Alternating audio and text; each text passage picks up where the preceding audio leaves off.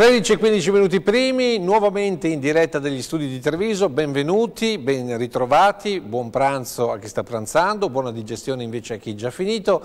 Siamo qui per tenervi compagnia per circa mezz'ora con un ospite davvero eccezionale e particolare. Ho il piacere di presentarvi Perin Diotisalvi. Diotisalvi Perin, imprenditore, appassionato del territorio, presidente dell'associazione Imprenditore Piavi 2000, è qui con noi perché eh, l'ho voluto invitare perché ci, voglia, perché ci, deve raccontare la sua storia e la storia anche del Piave e del territorio. Allora, intanto grazie per essere qua con noi. Grazie a voi, grazie. buongiorno. A allora, cominciamo con chi è Diotisalvi Perin. Beh, sono un imprenditore prima di tutto nel settore dell'energia, quindi dei gruppi elettrogeni e dopo appassionato di storia, quindi sono anche presidente del Museo del Piave, che questo riguarda la Grande Guerra a Cabrera a Corriere di Vasso. Sì. Poi, dopo parleremo più avanti, sta già preparando un nuovo museo e ha tantissimo materiale che ho avuto anche il piacere di vedere così in anteprima e vi garantisco ci sono cose veramente uniche e particolari. Senta, lei è un appassionato del territorio, un appassionato della storia del nostro territorio, però anche un appassionato di meccanica. Mi raccontava prima, prima dell'inizio della diretta che la sua storia inizia negli anni, fine anni 60 con l'idea di creare questi generatori e i motori per i generatori andava a recuperarli dove? Sì, andavamo in Germania perché qui in Italia c'erano motori diesel a parte l'Acme di Valdobbiadene, motori piccoli e la Fiat qualche motore ma non si riusciva a produrre potenze più di 100 kW. Superiore a questi, allora io sono stato in Germania e smontavamo i, i motori dai carri armati, Mercedes, eh, Quindi della seconda guerra mondiale? Sì, esatto, ecco, sì, sì, sì, quindi dei motori anche dalle ferrovie, da, anche da migliaia di kilowatt. Eh, questa e noi sappiamo che uno dei primi reperti l'ha trovato proprio, mi pare, a Berlino, giusto? Sì, a Berlino, nel bunker di, di Hitler, abbiamo il gruppo elettrogeno che era lì eh, in funzione, quindi lo, lo abbiamo eh, costruito come all'epoca, insomma, con un motore straordinario. Ma non è che poi l'avete riutilizzato per un generatore da qualche altra parte, ce l'avete voi come reperto storico? Sì, sì, certo. certo. Questo è stato uno sì, dei primi, sì. è quello che ha dato forse l'innesco alla passione? Sì, tra questo e, e un vecchio gruppo elettrogeno che abbiamo ritirato da Chiari e, Fori, Chiari e Forti qui di Treviso tramite la Pandea di Parma che faceva focacci merendine e lì questo è un motore Fiat eh, che andava a olio di ricino, un 12, di ricino. Sì, un 12 cilindri Fiat che poteva essere un, utilizzato. Un motore del ventennio? Eh, sì, più o meno sì, e quindi questo un 12 ehm, cilindri? Un 12 cilindri Fiat. Eh, e cosa ci faceva la Chiariforte? Era un gruppo elettrogeno per emergenza in, questa, in questi impianti appunto, molto, molto interessante. Che cosa aveva di particolare questo motore che l'ha affascinata? Ma eh, la, la, costruzione, le valvole, il sistema di, di avviamento e quant'altro, perché anche come sui motori grossi, che può essere anche l'ultimo ritrovato che abbiamo avuto un accordo con il, um, degli amici di Jesolo abbiamo mm. ritirato un motore gigantesco Franco Tosi che doveva essere posizionato come monumento alla rotonda di Jesolo, dopodiché eh, invece questa cosa è andata a finire che questo motore è rimasto lì nel giardino e per non inquinare ci hanno detto venite a portarlo via. Motore... È un motore da idrovora, sì, di, questo, questo... di questo ne parleremo dopo perché lei poi una volta terminata la trasmissione qui andrà a fare proprio un'inaugurazione, potremmo definire. Ma torniamo sì. al motore della Chiari e Forti. Eh, motori eh, così grandi l'hanno appassionata perché? Perché la meccanica è, stata, è una cosa che ha nel sangue? O perché ha così tanto rispetto dell'ingegneria, dell'intelletto umano che fin pecca smontare e buttare via tutto. Sì, senz'altro perché anche la Fiat si affidava a degli ingegneri specializzati per eh, queste produzioni particolari. Difatti abbiamo anche un vecchio trattore cingolato che lo ha chiamato eh, Boghetto Fiat, quindi onorava gli ingegneri anche nostri locali, eh, ricordiamo che l'ingegner Boghetto è l'ingegnere quello che ha progettato i motori dell'Acme, motori di Valdobbiadene. Io volevo proprio portarla qua. Allora, intanto diciamo una cosa, eh, l'ingegner Boghetto, l'Acme, eh, sono, sono, nomi che sono familiari per la marca trevigiana, ma sono nomi fondamentali anche per la meccanica diciamo così, della, della ricostruzione. Intanto andiamo a questo trattore, per, per, per, per darvi l'idea, non so se avete presente, c'è una foto famosissima in cui Benito Mussolini è in un trattore cingolato nella zona delle bonifiche della pianura pontina. Ecco, quello è il trattore di cui stiamo parlando ed ha una particolarità, io ho avuto modo di vederlo, c'è un esemplare, sono pochissimi in giro per l'Italia funzionanti e uno c'era proprio Dio ti salvi Perin nella sua raccolta. Eh, che particolarità ha questo trattore? Ma è straordinario, è straordinario perché funziona a tutti i carburanti, quindi va, tu vai con la bombola del gas, funziona co, col gas, vai col petrolio, funziona col petrolio, vai con la benzina, funziona con la benzina, vai col diesel, funziona. E diciamo che oggi come oggi, anche eh, noi che facciamo gruppi elettrogeni di una certa qualità, oggi non, non ci sono ditte come può essere la Cummins, la Dois, eh, l'MVM e quant'altro che fanno questi motori pluricarburanti, va a tutti i carburanti eh, e tu fai mezzo giro di manovella e ancora parte. Eh, quindi è, quindi è diciamo, l'ingegno, ecco.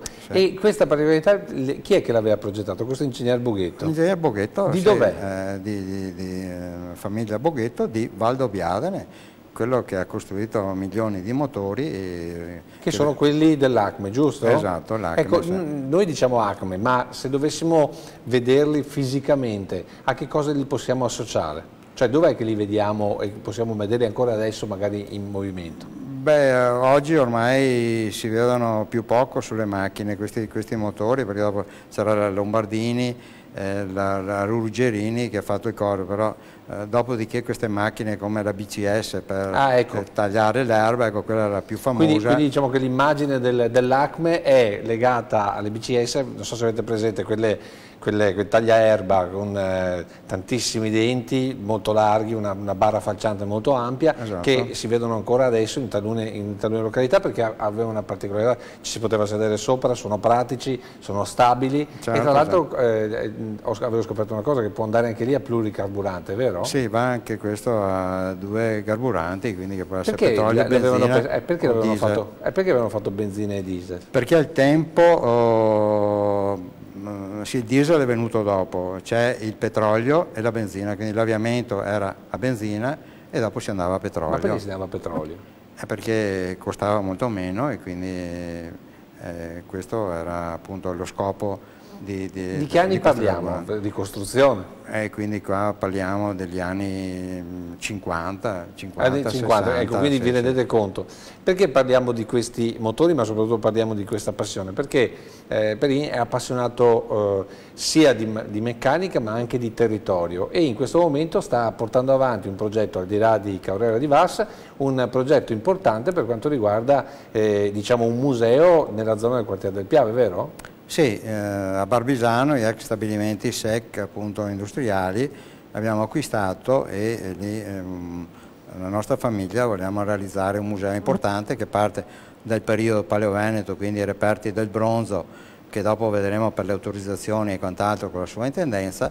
Noi diciamo che abbiamo già dei reperti molto importanti recuperati nel Piave, come delle macine, eh, un'altra pietra importante dell'ospedale che poi sì, eh, diremo a fondo. Ecco. Perché questo museo però siete andati a farlo a, a Barbisano? Cioè, non era più semplice farlo in altre aree perché un museo in genere deve essere molto più vicino, molto più facile da raggiungere. Ma siamo in un punto strategico, punto del, dove erano insediati i nostri eh, avi, quindi partiamo dai veneti antichi che abitavano nelle grotte lungo il Piave abbiamo il periodo delle strade romane, quindi lì siamo il passaggio dell'Oppitargium Tridentum, chi dice della, della, della via della Atinate. Atinate, eccetera. Quindi, dopodiché abbiamo tutto il periodo del Medioevo, abbiamo il periodo dei passaggi di Napoleone che passava a Ponte della Priola il Piave, quindi l'attacco, abbiamo il periodo della Serenissima Repubblica, quindi importante come queste macine che recuperiamo che vengono che si sono rovesciate dalle zattere che venivano giù da, da Libano, da questa roccia scavata a Libano su a, a Belluno, e prima guerra mondiale, seconda guerra mondiale e archeologia industriale. Ecco, questo è appunto, abbiamo per esempio il schiacciasassi gigantesco che pesa oltre 200 quintali, che aveva l'impresa Brussi che andava a lavorare a fare le strade dall'Istria al Friuli al Veneto e, che abbiamo lì questo Breda gigantesco schiacciasassi, questo rullo. Che faceva che ha fatto le strade dell'Istria del Veneto, si parla esatto. di eh, inizio del Novecento? Eh, sì, eh, sono macchine a vapore queste. Sì, sono eh, macchine a vapore addirittura? Esatto, esatto sì. E, eh, e, tutto questo quando è che diventerà museo e sarà usufruibile e vedibile dal pubblico? Ma noi adesso abbiamo avuto una riunione appunto col sindaco appunto Stefano Soldà di Piede del Soligo perché io questo museo prima dovevo realizzarlo a Ponte d'Aprile dove abbiamo anche dei vigneti quindi facciamo del prosecco però lì il sindaco ha detto che è una zona altamente evocata alla cosa agricola ma eh, siamo in prossimità eh, appunto, perché non farlo lungo la Pontebana? Fronte, fronte a Pontebana, avevamo il terreno lì eh, prospicente all'ex discoteca Garden comunque non c'è stato niente da fare, io non è che mi sono perso d'animo, se non trovo qua vado da un'altra parte, quindi ecco, questo è il discorso. E quindi il, eh, il sindaco ci ha um, invitato a braccia aperte di appoggiare l'iniziativa, noi adesso stiamo presentando il progetto, quindi si tratta di un capannone sui 2000 metri quadri, una superficie di un stabile nuovo perché questo vecchio non è recuperabile, vedi il discorso antisismico e quant'altro, non è capiente, ci serve alcuni piani per sviluppare su 2000 metri quadri varie mostre che faremo a tema mh, mm, per non sia sempre stato. Io so che lei stabile. ha una particolarità che pochissimi hanno, è riuscito a recuperare un trattore della famiglia Bergoglio che, che potrebbe avere molta attinenza addirittura con Papa Francesco. Beh sì, eh, i reparti nostri cerchiamo uh, in loco e quindi io eh, lancio anche il messaggio qui se c'è qualcuno che ha eh, reperti e quant'altro di non, reperti non di archeologia industriale, non sono sì, motori, cose. Sì, può essere anche attrezzi di legno di, che arrivano da, da, da, mulini, da vecchi magli, eccetera. Ultimamente, per esempio, l'ex sindaco di Treviso Giampaolo Gobbo ha, mi ha proposto, abbiamo, stiamo ritirando da una famiglia Lago, qui vicino a Treviso, Ponzano, tutte le macine, i magli di, di un vecchio maglio, di, un fabbro molto, molto importante e quindi li stiamo smontando, quindi è una cosa straordinaria, quindi ricostruiremo questo, questa officina fabbrile perché ricordiamo che lungo il fiume Soligo, per dire, se dopo andiamo in, spaziamo in Veneto è un'altra cosa, ma da Follina a, lungo, a Ponte d'Aprile ci sarà circa stati circa una trentina di mulini, quindi alcuni sono ancora lì fermi attrezzati come il tempo, quindi anche questo e per portare il turismo. Di cose che hanno, non dico mille anni, ma poco ci manca, insomma perché il mulino è, più o meno all'altezza del, del, del, Medioevo che comincia a sì, le prime immagini, sì, sì, per, ed, è, ed, è una, ed, è, un itinerario affascinantissimo, ve lo garantisco, tra l'altro ad esempio nella zona di Cisone di Valmarino c'è la via delle acque che porta su verso il passaggio diciamo, che poi porta verso il Bellunese, questa via delle acque è costellata di piccoli e, piccoli e, grandi mulini, è una passeggiata molto bella, tra l'altro abbiamo fatto anche dei servizi tempo fa, eh, dove appunto si vede l'attività della natura la forza della natura applicata all'attività dell'uomo, quindi all'attività ad esempio eh, delle macine per eh, macinare appunto il grano, comunque il frumento, cioè per l'attività diciamo così eh, alimentare, ma anche i folli per la lana, ma anche i magli per poi creare eh, attrezzature agricole, ma anche spade, dove nella zona di Cison era molto famoso perché c'era appunto l'attività così di gestione delle armi, delle, delle, si creavano spade, alabarde e quant'altro come nella zona del Vittoriese. Certo. Io adesso però volevo portarla anche, eh, spazio molto perché eh, voi lo conoscete poco, ma eh, eh, Dio ti salvi è persona che ha conoscenze notevoli, vuoi per la sua passione, vuoi anche per la sua attività. Ad esempio lei conosce molto bene il Medio Oriente, perché conosce il Medio Oriente, soprattutto la zona che in questo momento hanno dei, non dico problemi, ma hanno la guerra in casa, tipo la Libia. Beh, oddio, noi forniamo gruppi elettrogeni in un po' da varie parti del mondo e quindi eh, lì eh, non c'è energia, quindi funziona tutto a gruppi elettrogeni, mentre qui magari... Ne... Cioè, ci, provi a spiegare perché la gente non, non lo sa, insomma, cioè, lì essendoci molto petrolio cosa si fa? Si utilizza molto più il gruppo elettrogeno che non la linea di corrente allora. Sì, ecco, non parliamo dei gruppetti eh, elettrogeni piccoli come si faceva con l'ACME eccetera che sono in giro, quindi parliamo di macchine che possono andare dai 100 kW ai 2, 3, 4, 5 mila kW, quindi per montare le pompe per i pozzi e tutte le attrezzature eh, ci vuole energia, oppure lì se fanno una strada non è che tirano un cavo per illuminare le torri di illuminazione, mettono due gruppi elettrogeni e arriva ogni qualche giorno la pompa per fare il pieno del, del serbatoio e, e quindi tutto funziona a gruppi elettrogeni? Tutto funziona a gruppi Senta, l'immagine, lei ha frequentato, mi pare di capire, la Libia e, e tutta la zona, diciamo così, dell'Africa del Nord, giusto? Sì, beh, abbiamo continuamente, facciamo fiere, quindi... Eh. Ah, fate ancora fiere, ma sì, è ancora sì. possibile fare qualcosa lì o in questo momento, beh, in Libia credo che non ci andiate? Eh, sì, non ci andiamo, però lì ci sono tantissimi gruppi elettrogeni nostri che comunque girano, arrivano dall'Algeria o, o dall'Egitto o dagli altri paesi. Quindi... Com'è la situazione lì e com'era prima? Ad esempio, com'era con Gheddafi la Libia? Ma allora funzionava abbastanza bene, voglio dire, quindi c'erano dei rapporti stretti di, di forniture e quant'altro, eh, non c'era problema. Cioè, quando, quando, cioè, quando, passava per di là, come si è trovato come territorio? Cioè, nel senso, eh, c'era questa cappa, fra virgolette, di controllo, di, di oppressione, oppure... Ehm... No, no, no, al tempo no, no, la, la zona tranquillissima e quindi erano, eh, lavoravano, c'era un forte sviluppo di lavorazione sia nelle costruzioni, nelle strade e quant'altro. Eh, dopodiché lì si è capovolta, finita l'era dell'incontro che ci ricordiamo Gheddafi o Berlusconi eccetera, lì è andata un po' dopo in declino, quindi quando è cominciata le guerriglie e quant'altro la situazione è molto difficile.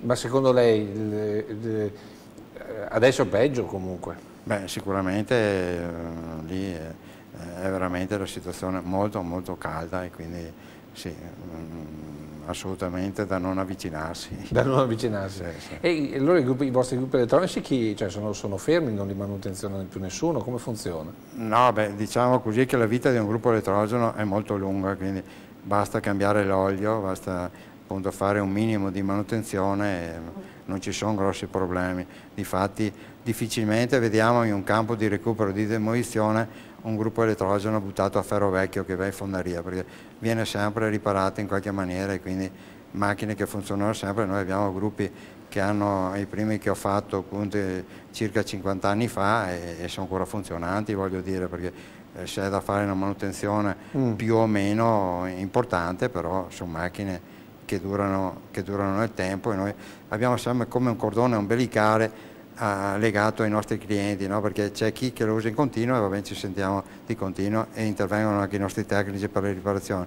C'è chi lo usa per emergenza e quando ti telefona è sempre collegato a te e dice eh, io ho preso questo gruppo qua a 20 anni eh, non mi va in moto cioè, ma, detto, ma eh, avete mai fatto manutenzione c'è la batteria avete controllato e la gente eh, è così ma è sempre legata voglio dire quindi noi diamo questa questa, questa... allora comunque un, un, un, contatto ancora con la zona, la zona della Libia della Cirenaica ce l'avete ancora? Beh sì, quando servono delle cose di ricambi eccetera c'è il giro sempre delle persone. In qualche maniera si riesce a farli sì, arrivare? Sì, sì, sì, sì, La speranza è che comunque lì, anche lì si rimetta a posto la situazione perché comunque è un mercato importante per l'Italia. Beh indubbiamente. Perché non siete l'unica azienda presente nel territorio, ad esempio c'è l'ENI che lì insomma ha interessi, abbiamo interessi notevoli. Insomma, Beh, indubbiamente se voi vedete vedete che lì questi impianti giganteschi vanno avanti, in qualche maniera vuol dire che i tecnici e persone arrivano perché sono eh, impianti veramente complicati e sofisticati, quindi con loro no, non è possibile che vadano avanti.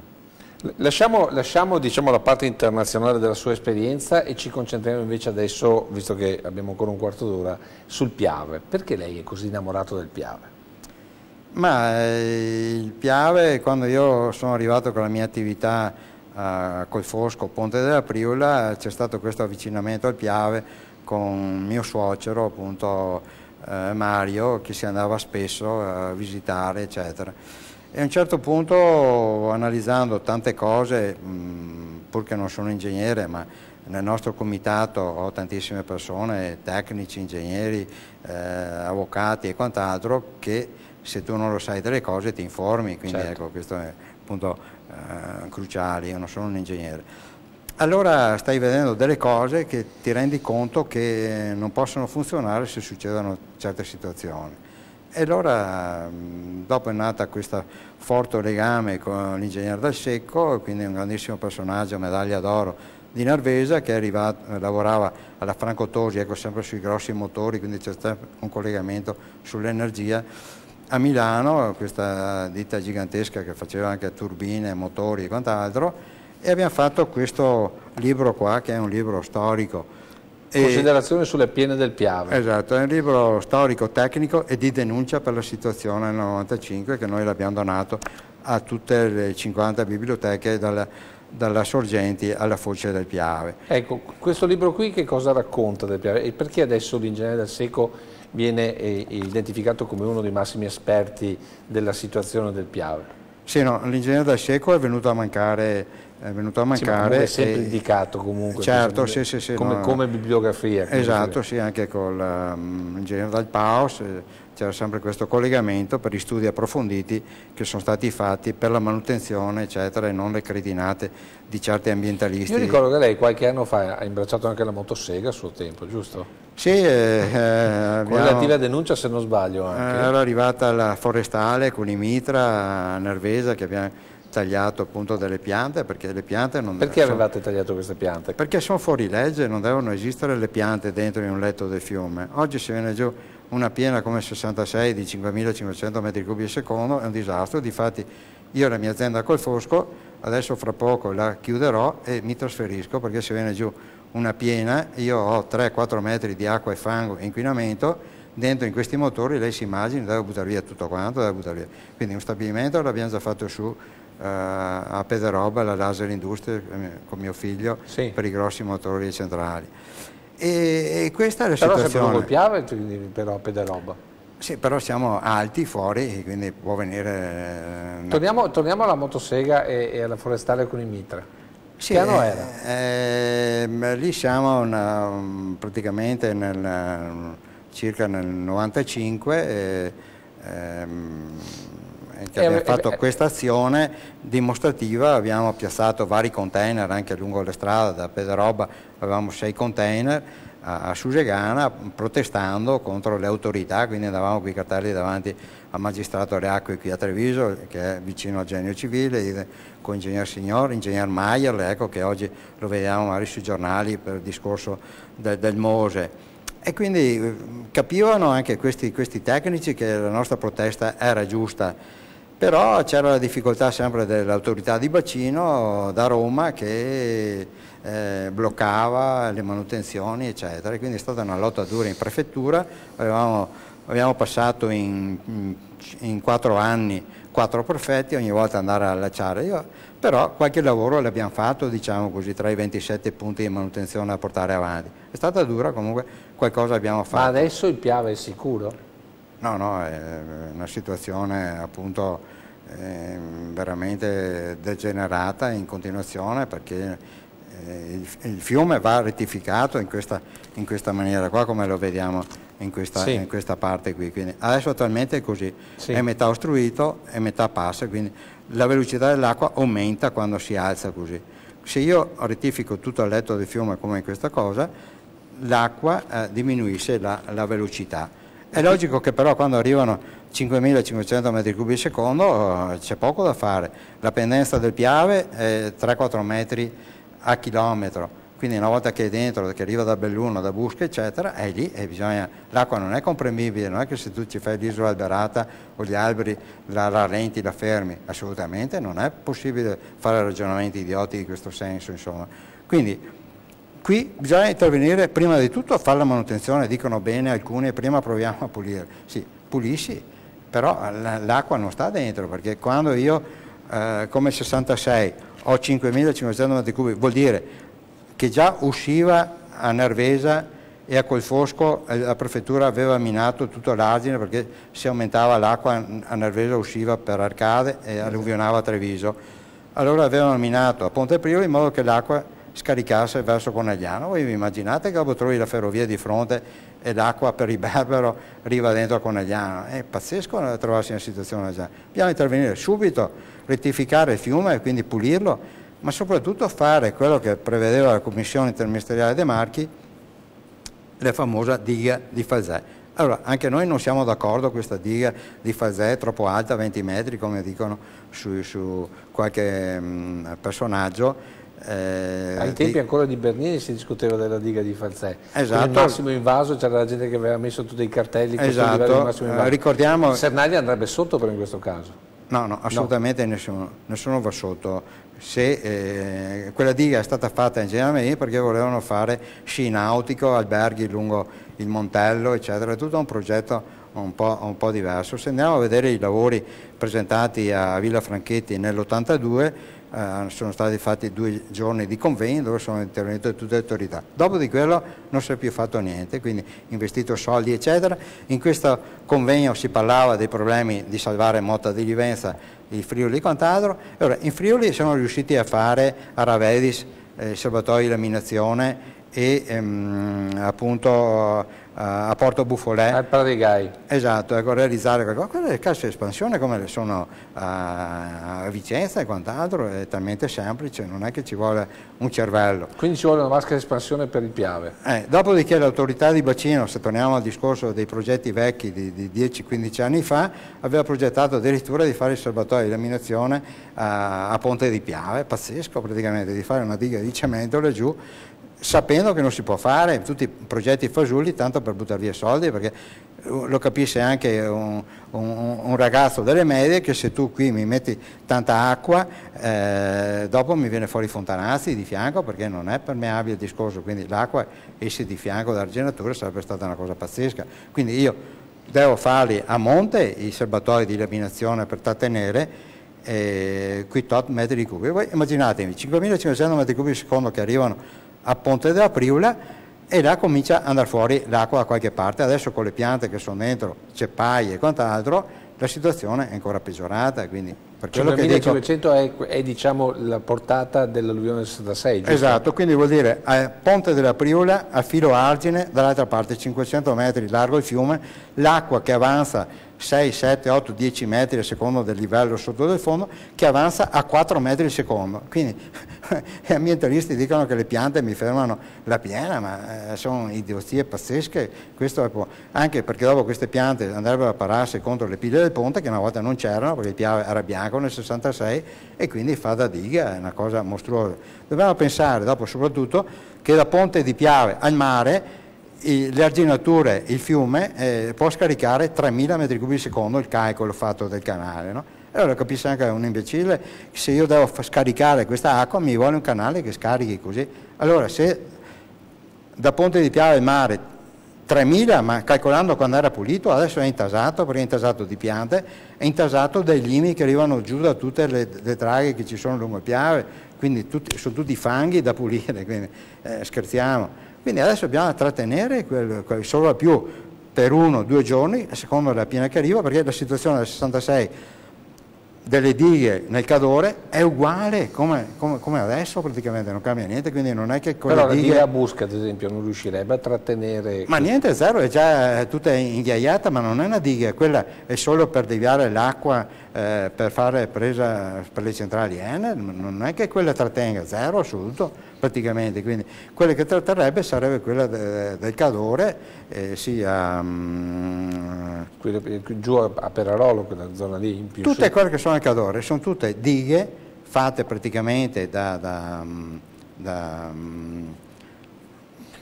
eh, Borcadicadore eh, sono tutte dighe fatte senza eh, scarico rapido perché se io avessi una diga che ha lo scarico rapido di fondo la scarico due giorni prima e mi trattiene dopo per la piena.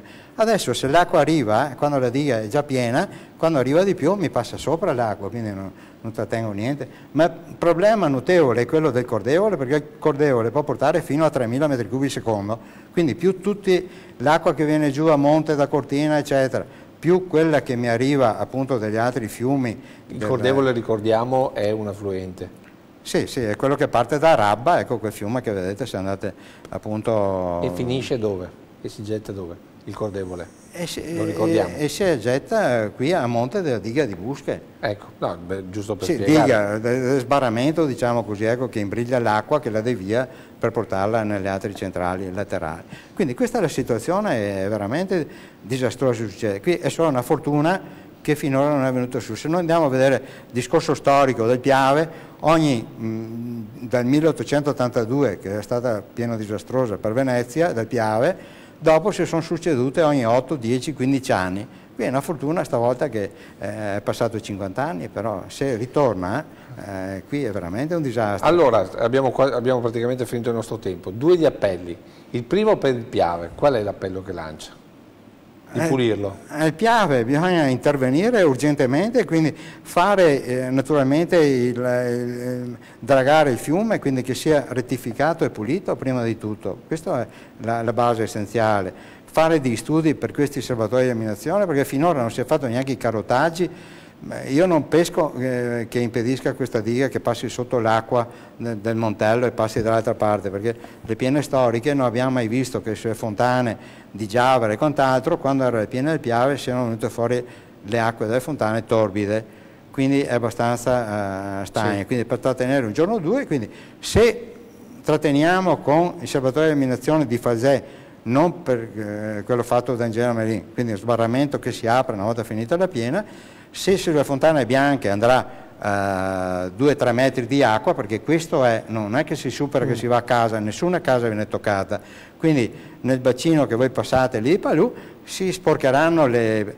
le piante di un po' di, di, di, polvere eccetera, ma dopo con le piogge che viene i giorni, giorni sì. dopo si lavano quindi, giù. Lì, allora l'appello è quello di tenere pulito il piave, invece il secondo appello che lei lancia lo lancia per il museo, giusto?